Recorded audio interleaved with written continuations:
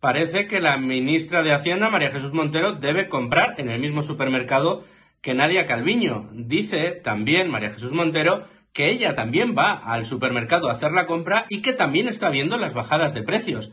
Yo la verdad que invito a cualquiera de ustedes que repasen los tickets de la compra y decidan si lo que les están diciendo desde el gobierno es cierto o por el contrario es una mentira muy grande.